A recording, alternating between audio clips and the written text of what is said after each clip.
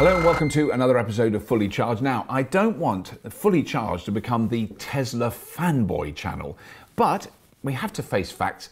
There has been a bit of news about Tesla lately. Uh, just very recently, Tesla launched the Model 3, and this news actually got into the mainstream media. It was actually in things called newspapers. Some of you older viewers will remember newspapers. It was a way of communicating data using dead trees the Tesla Model 3. Now, those of you, very few of you, I imagine, watching this, not conversant with the meteoric history of Tesla Motors, uh, the company was founded in 2003 in California uh, with, a, with a very modest plan, and that was to completely change the world. Now, they initially produced a high performance two seater electric sports car, the Tesla Roadster, and they sold enough of those, it got them enough money to then start making the Tesla Model S. Uh, and they produced loads of those, and the offshoot of that, the Tesla Model X, and they produced loads of those, and they sold thousands of them, and that's what gave them enough money and credibility to get to the point where they could then launch what was the original plan, the Tesla Model 3 a uh, car that is described as an affordable car for the masses, a mass produced car at much less cost. Now, a Tesla Model S starts at about £60,000. So it's definitely not a cheap car. The Tesla Model 3 will start at around £30,000. We're not absolutely sure of the price yet, but we will find out very soon, I'm sure.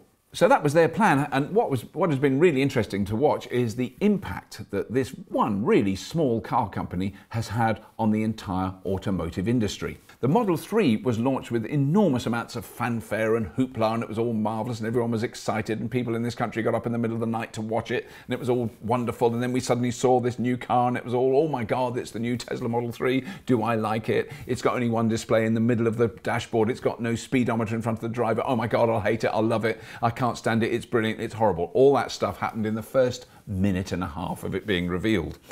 But what was extraordinary was the number of people who put down a deposit to buy one. So if you paid $1,000 in America or £1,000 here, which is a lot more than $1,000, yeah, we always get short shrift in this country, uh, then you could uh, order your car now and you'd be first in the queue for when they're made. And what is extraordinary is since it was launched a couple of days ago, uh, more than 276 thousand people around the world have put down their thousand dollars, thousand pounds, thousand euros deposit. That we're talking billions of pounds have gone into Tesla Motors. And here's the important thing no one in the world outside of Tesla has driven the car, no members of the press, no members of the public. Very, very few people have actually seen it, and yet 276,000 people have said, Yes, I want one. Now, that has really caught the attention of the automotive industry as a whole. No one queues up outside a, a showroom of, a, of, another car manufacturer to put the deposit down on a car that they won't possibly see before the end of 2017 if they're lucky, and probably in this country more likely the middle of 2018. It's unprecedented. It truly is remarkable. I'll go even further. It's barking mad. It seems no one really expected an electric car to receive such an amazing response, especially when oil prices are as low as they've been in a decade. Because what this really shows is people aren't buying electric cars because they're cheaper to run, which they are, or they're less environmentally damaging, which they are. No, they're buying them because they're better.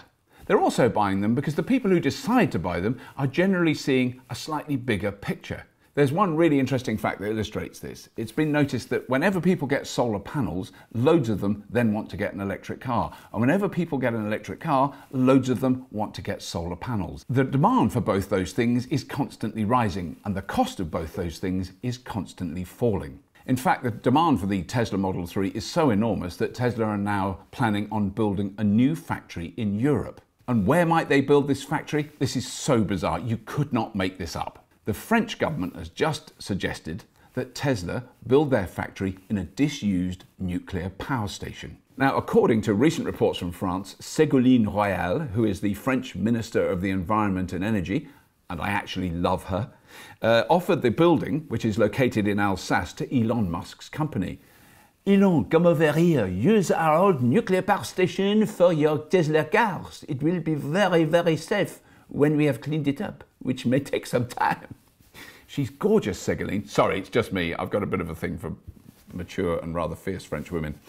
I'll get over it. So, what do we know about this car? Well, it's going to cost in excess of £30,000 when it finally comes out in 2017. And for that, you get a five seater sedan with a range of around 215 miles, they're saying. I would say that's a realistic, realistic, proper, real world range of like 190 to 200 miles. Uh, but this bit is really important. It will be supercharger enabled. Now, what does that mean? That means that this car can use the superchargers that are being installed all over the world at the moment. And that really makes a big difference. Now, to make Tesla's 500,000 Model 3s a year would require a rather a lot of batteries. Uh, currently, the entire global capacity for battery manufacture could not meet this demand. So Tesla is now nearing completion on what they've described as their gigafactory in Sparks, Nevada. This one plant, which is going to be, I think everyone's claiming, the largest single building on the face of the planet in terms of its footprint. It's just huge, completely solar powered. This one plant will literally double the global production of lithium ion batteries and allow the company to meet its targets. So we've all got a long wait until we get to go in a Model 3. Yours truly is not going to be sitting behind the wheel of a pressed version of the car until I reckon mid 2018. I wonder what I'll do. Oh dear, because that's when my lease has run out on the Tesla Model S. I know what I'll do. I'll lease a massive diesel SUV and sit outside a primary school with the engine ticking over for hours while I make a couple of calls. And finally, if you have supported Fully Charged on Patreon, I am enormously grateful to you. Thank you so much. It's turned making this show from a, you know, an interesting struggle into a, a, challenging joy. It's brilliant, and it's it's made it possible for us to keep making more episodes. So if you haven't uh, uh, supported the program on Patreon, don't feel guilty. There's no pressure at all. But if you want to, the link's just down there. It's very easy. Just click the link; it takes you through to the Patreon page. It's very straightforward. Lots of people have told me how easy it is. First time they've used Patreon, and it's very simple. I've used it before. I think it's a brilliant system. And if you haven't subscribed, well, please do, as we're releasing a new show every week and I would hate it if you were to miss some of the fully charged goodness heading your way. That's all for now. If you have been, thank you for watching. I regularly hear from people who would love an electric car but say they can't afford one. I mean, you could describe buying a new car as insane, but have you thought about leasing one? And that's what I do with my Tesla Model S. It's on a lease for three years. Now, it's worth checking out Drive Electric. That's who I lease my car through, and they're really nice people. They're really easy to deal with. Now, this isn't a paid advert or anything like that. I just want to support what Drive Electric are doing because they are getting electric cars to a lot of people who could never afford to buy one. It's worth checking out Drive Electric.